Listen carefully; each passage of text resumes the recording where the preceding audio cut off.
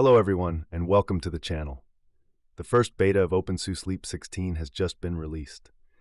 This distribution is set to become one of the most significant releases in OpenSUSE's history, and likely one of the most important new Linux developments of 2025.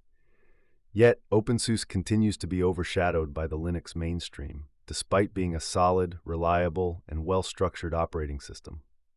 Unlike Fedora, which enjoys high visibility thanks to its close ties with Red Hat, OpenSUSE has never had a truly synergistic relationship with SUSE, the company behind it.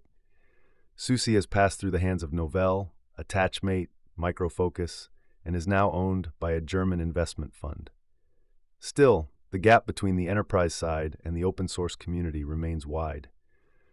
There's even talk within the community of a potential name and logo change, pushed by the commercial entity. Back to Leap 16, this is a landmark release. The most notable change is the removal of YaST, the powerful, modular, professional tool that has defined SUSE and OpenSUSE for decades.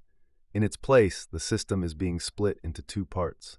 Myrlyn, a new package manager, and Cockpit, a lightweight modern system management interface designed to be simpler and more user-friendly.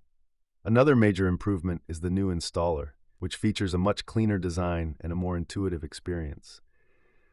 It's part of a broader effort to make OpenSUSE more accessible to all users, including those without deep technical knowledge.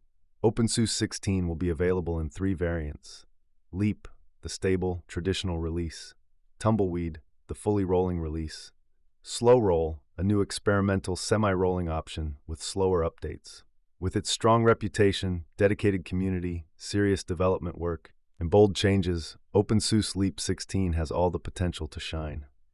We'll see if this release can finally make OpenSUSE the ultimate distro for KDE 6, a desktop environment that has always been a perfect match for this project.